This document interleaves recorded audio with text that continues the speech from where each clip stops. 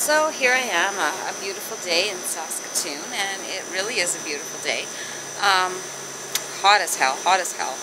But anyways, I'm going to do my rant today about technology and what I think about technology. Did you know they actually have a watch that you can put on your wrist and it works like an iPhone? It's uh, apparently by Apple.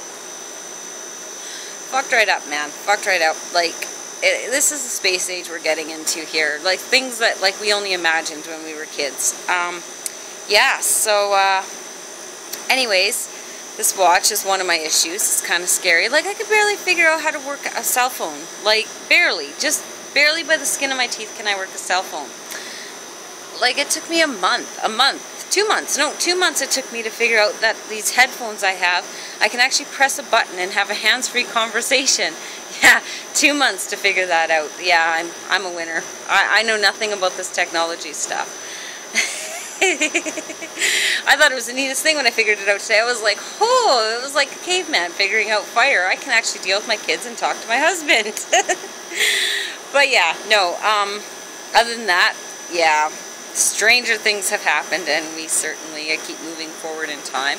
There's also this thing on Facebook that's going around about, um, about a woman suing a robot due to, uh, uh, something went wrong in her medical procedure.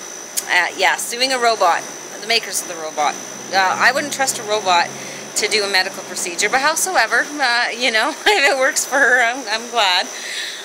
Um, yeah, strange, strange. Technology is going to take over the world. We're definitely going to be living in the Terminator days, and that scares the piss out of me a little bit. Mind you, what doesn't? You know, it's a race. It's a race between the zombies and technology. And I seriously, honestly sit and wonder which is going to win. I'm rooting for technology all the way. 100% technology because I don't want to deal with the zombies. I can deal with technology. Um, yeah. Anyways, I should probably get going because my husband and uh, it's our anniversary. So I have to go do something other than sitting and watching Pretty Little Liars with him, which is something we do every Tuesday. But uh, yeah, I got to get ready for our anniversary, and uh, I don't know what I'm going to do yet.